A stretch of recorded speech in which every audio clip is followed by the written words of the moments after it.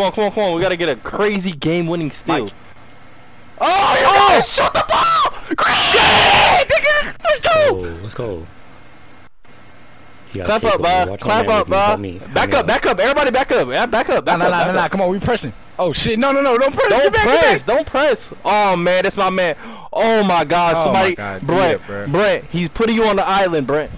He said game over, Brent. He's putting you on the island.